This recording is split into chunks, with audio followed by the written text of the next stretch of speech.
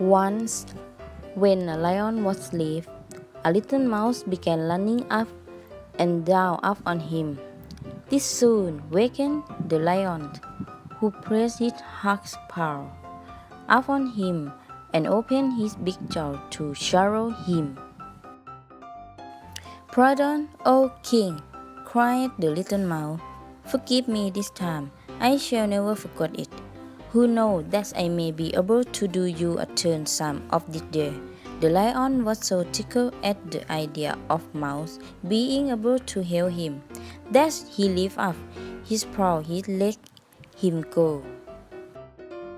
Some time after the lion was caught in a trap, and the hunter who decided to carry him alive to the king tied him to a tree while they went in search of a wagon to carry him on.